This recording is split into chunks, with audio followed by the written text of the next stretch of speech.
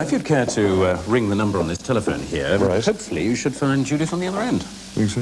Yes, with any luck. Where was it? Oh, so three, six. It is a local call, so it shouldn't run up Is the bill too much. Think so? I hope we don't get a cross line.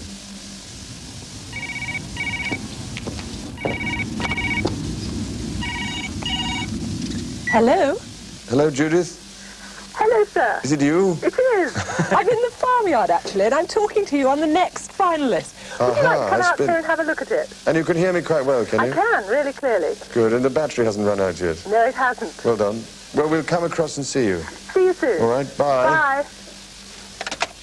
Well, this is the next finalist, the smallest, lightest, most intelligent cell phone in the world. One of the biggest advantages of cell phones is that you can take them almost anywhere. But although many claim to be portable, this one, as you've seen, really is pocket-sized. And the manufacturers have made it this small by using the latest in circuit and assembly technology. Instead of just mounting the circuitry onto one side of the circuit board, they've used both sides. And there are no less than 12 interconnecting layers packed into this circuit board. But it does have just as many features as other cell phones. For example, it can hold up to 100 phone numbers. It also has the same transmitter strength as ordinary cell phones, and it'll give more than 50 minutes of calling before the batteries need recharging. Ah, here she is. Surrounded by some extremely nosy Interesting, horses, I yes. see. Hello, sir. I'd like to introduce you to Nils Martensson, who's the founder of the company, and Hugh Hawkins, who leads the marketing team. And there it is. Oh, there it is. Aha. No, I was wondering.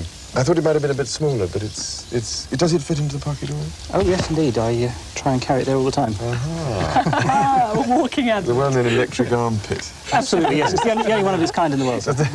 It doesn't get. It doesn't sort of you know No, no, irritate you or anything the, the average well-tailored suit accommodates it quite Oh, nicely. it does. You're trying to get your suit specially reconstructed. No, so far not unnecessary, I'm afraid.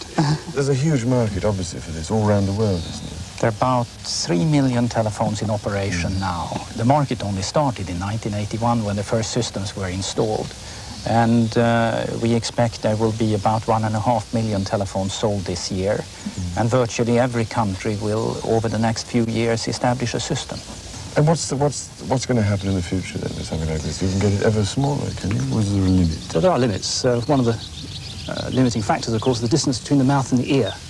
That's absolutely true.